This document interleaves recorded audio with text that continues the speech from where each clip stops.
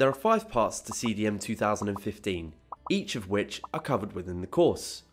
This includes all the roles under CDM and the duties for each role. The course will require around 12 hours of study. Before you start on the learning materials, our lead tutor will explain the learning outcomes and help you to get the most out of your course. The multimedia experience enables you to engage with the learning materials. This CDM discovery exercise will help you to become familiar with Throughout the course, you will find checkpoints to check what you have learnt. There are also a number of practice activities where you can apply what you have learnt to a practical construction scenario. You can share experiences and ask questions in our online discussion forum.